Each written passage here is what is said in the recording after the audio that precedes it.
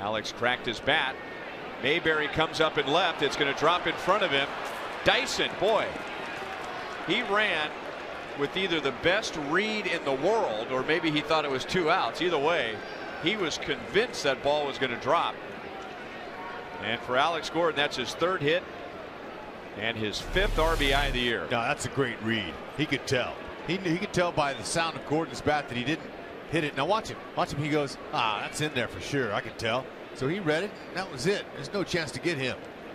Great instincts there.